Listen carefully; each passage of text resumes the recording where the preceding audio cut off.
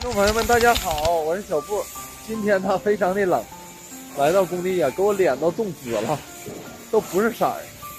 然然后呢，我老弟也来到这个工地了，就是头几期视频挣十三万那个小子，不知道他今年想挣多少钱？你说天生冷的来这里干啥？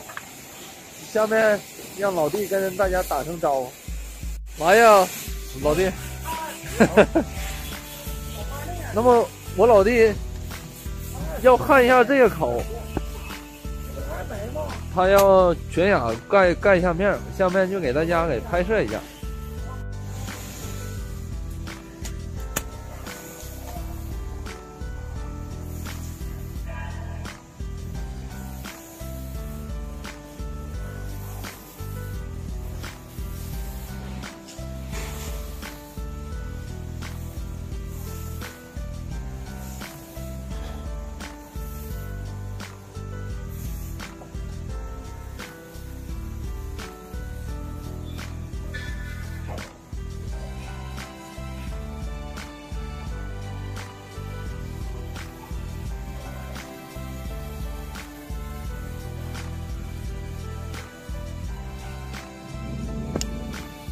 看的挺好啊，汗肉也挺挺饱满的。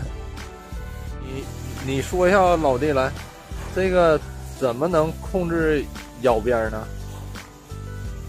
铁水得给够了，铁水给够了啊，要多给点呗。对，控制好温度，不能太高。控制好温温度。那啥，就这么简单呐？熟能生巧。今年打算要挣多少？要挣多少钱呢？有活就干，不分挣多少。你今年休息休息几天呢？休息十天。一年才休息十天呢？过完年整整十三出来的吧。一直到现在还干哈？那可不。有钱就挣，不挣钱吃啥呀？我觉得呀，我老弟虽然说今年已经挣了十三万了，咱们也不必太羡慕，因为说呢，一年的时间呢就休息十天，其余时间都在工地。呃，或许我们呢也不懂得怎样去生活，只懂得怎样去干活。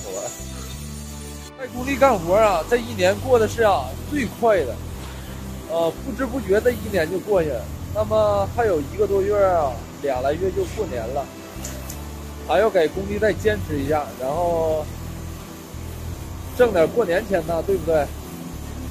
今天呢太冷了，我也非常的冻手。那么今天我就不拍了，呃，今天就分享到这里了，大家下期视频见，拜拜。